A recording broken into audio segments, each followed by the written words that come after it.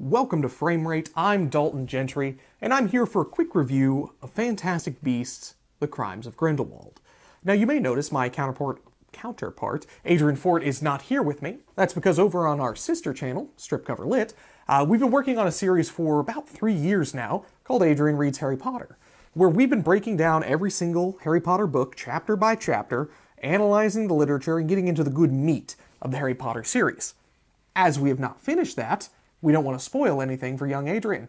Therefore, he has not seen the Fantastic Beasts series, he has not seen The Crimes of Grindelwald, uh, and therefore you just get me talking about it. Because I did go see it, because I am a Harry Potter fan. And what's more exciting than another Harry Potter movie? Hmm, let's get there. Anyway, film as an overall, I was a little apprehensive about. I was not a huge fan of the first Fantastic Beasts and Where to Find Them film. Uh, thought it was a little cheesy and just, I don't know, unnecessary.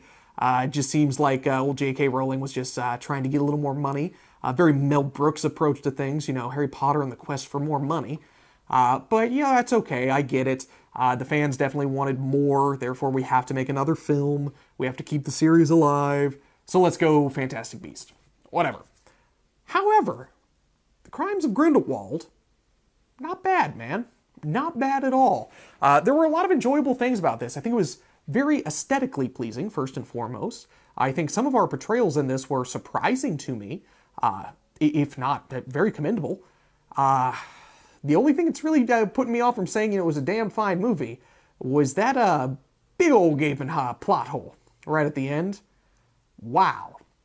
Uh, something I mentioned we do on our sister channel, Stripped Cover Lit, uh, is we analyze literature, and we've been working through the Harry Potter books for years now. Uh, and that's something we pride ourselves. It's our passion. It's what we enjoy doing. And when you take such liberties as saying, "Oh, look, it's the mysterious Dumbledore relative that uh, no one knew about, and he just happened to never be mentioned in the canon of the series," no, you don't take those kind of liberties with a film, uh, and it's it's not for me. No, not gonna work. Mm-mm. But anyway let's get there.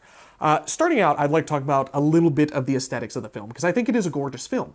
Uh, it filmed well, the CGI is wonderful, and some of those spellcasting scenes, especially with Grindelwald, are absolutely stunning. Uh, so if that's your thing, that's your big uh, niche, maybe that's something to consider looking into this film for, because uh, just to sit down and watch, I think as both a Harry Potter fan, and even removing it from myself, uh, even if I wasn't a fan of the series, I, I think it would definitely be enjoyable. No complaints there whatsoever. But I think what really saves this film is our actors and our portrayals. Uh, mm, first and foremost, let me let you know right now, I am not a Johnny Depp fan. Never have been. I think he portrays the same character over and over and over again. Uh, it's the same Tim Burton creepy Johnny Depp vibe. Uh, it's just not good. And Johnny Depp himself is just not good. Uh, he's a, a creep of a person and just not a fan of his work. Sorry, Johnny. Sorry, everybody who likes Johnny. Uh, however, as Grindelwald, I kind of dig it.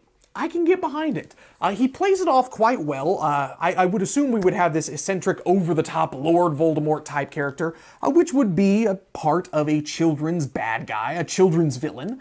But Johnny Depp plays it well. Uh, we kind of get those uh, little fleeting glimpses into the over-the-top bad guy. I mean, look at him, honestly. He's, he's a bit over the top.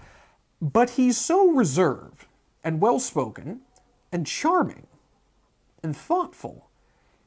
It really makes us kind of enjoy the character. I can get behind it. Uh, there's one scene in particular, it's when he is addressing the wizarding audience uh, towards the end of the film. He really just has this charm and this way of speaking that is absolutely necessary to make us believe that he is not only the villain, but a charismatic leader. And that's absolutely necessary, especially if we are drawing people into this for the first time. Maybe if they've never seen any of the Harry Potter films, they don't know the lore behind it. We have to believe that this man is not just there to be the super bad.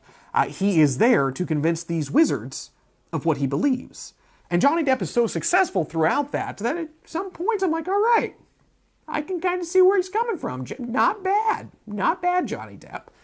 And opposite of him, we have Jude Law, portraying a young Albus Dumbledore. This would be our third Dumbledore that we've seen throughout the Harry Potter series. And I was very concerned going into that. Uh, Dumbledore is such an iconic character, and I think portrayed so well in the Harry Potter films. Uh, with either actor who portrayed him. Uh, absolutely, both gave it their all, uh, gave it life, and it was well done. So I didn't want to see a third Dumbledore. Didn't want it. Didn't think it could be pulled off well. Uh, but Jude Law gives us a ambitious, young, uh, sometimes maybe a little bit too. Oh, what's the word I'm looking for? Uh, he's still educated, still intelligent, still has the wit of Dumbledore, uh, but he still has the naivety of youth, and he still goes into things uh, guns a blazing almost, and that works. I, I, think it's very believable for a young Dumbledore because we do see here one of the most powerful wizards of all time. The only man who, throughout the film, they refer to can take on Grindelwald. Yet he's reserved about it. He's calm about it, and he's calculated about it. That's very Dumbledore, and it's very well done. Uh, so I think Jude Law is incredibly successful in that portrayal, and we even get that little uh, subtle hints of a love interest between him and Grindelwald which I think was uh, both subtle and well done, uh, in good taste. And since that's become such a big, uh, big point of the Harry Potter series, I, I, think it's well done. No complaints whatsoever on that end. Uh, we also get some other portrayals. That we get uh, obviously Nagini. I know there was a lot of controversy throughout that about Nagini actually being a, a person at one point in time. Uh, we also get our title character moving forward in his second film. still the same. Uh, Newt is still lovable, uh, he's still entertaining, uh, and a little whimsical from time to time might be the best word for it. So there's some definitely some good scenes in this. It is a funny, enjoyable film, and as compared to that first one, I, I would put this one just worlds above the first Fantastic Beasts movie. I think honestly, even as a standalone film, having no knowledge of the Harry Potter universe, no knowledge of the first Fantastic Beast film, I think honestly you could sit down, watch this, enjoy it, and come away with something. I, I am kind of excited about uh, the next film. But, there's always a but. The one thing that just doesn't work is the plot hole at the end.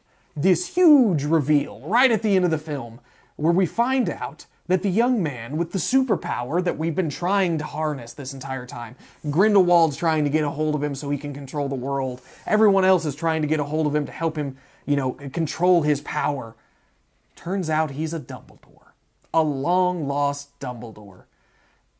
That is so ridiculous and so over the top. I, my assumption is J.K. Rowling would have given her blessing to this film, uh, which I assume she did because it, it's so ridiculous and unbelievable. Only J.K. Rowling would say, "Oh yeah, it's a great idea. That works." Uh, we have here uh, a seven-book series, eight movie series, at which no point in time in the greater canon of Harry Potter is this long-lost Dumbledore ever mentioned, and suddenly, just so we can make the plot work, here he is. Uh, Obviously, it's going to cause some tension between Grindelwald and Dumbledore, uh, so I think there's some excitement to be seen as that plays out next film uh, with Jude Law and Johnny Depp. No worries about that whatsoever. Uh, but as far as the plot as a whole goes, man, that is just so ridiculous and in such poor taste. Uh, it's not believable. There's no suspension of disbelief. It's just like, well, here it is, because it makes the plot work. So, little disappointed in that aspect. But all in all, that's really my main complaint with the film. I think up until that point, I was really enjoying it. And it was really building towards something, and there was a lot of anticipation coming up towards that ending. And when that reveal hit, I was completely deflated. I'm like, oh, you gotta be shitting me. It's really our ending? That's what we're gonna go with? All this anticipation? All this promotion for this? Not my cup of tea. Not for me. However, Overall, I would say the film is okay. I would definitely suggest you go see it. It is definitely worth your ticket price. And I mean, it's Harry Potter, man. If you're a fan of Harry Potter, you gotta go see it. It's gonna keep that dream alive for you. It's gonna make you relive uh, the Harry Potter experience from when you were young. I, I think it's a, a necessity to go see that film if you're a fan of the series. So, my name is Dalton Gentry, and this is Frame Rate. And on Frame Rate, we do a lot of movie reviews, we do trailer reviews, and we talk about films in general. So if you like this kind of thing, make sure you hit the subscribe button down below. Give this video a like as well. And let me know down in the comments what you uh, thought about uh, Harry Potter movie here, Crimes of Grindelwald. And uh, let's get a little discussion going about that because I feel like there's a lot of people who want to talk about that plot hole in the end. And it needs to be addressed. And if you would like to help me and my counterpart, who's not here right now, Adrian Fort, uh, create more content like this here on Framerate, there is a link, as always, to our Patreon to be found in the description below.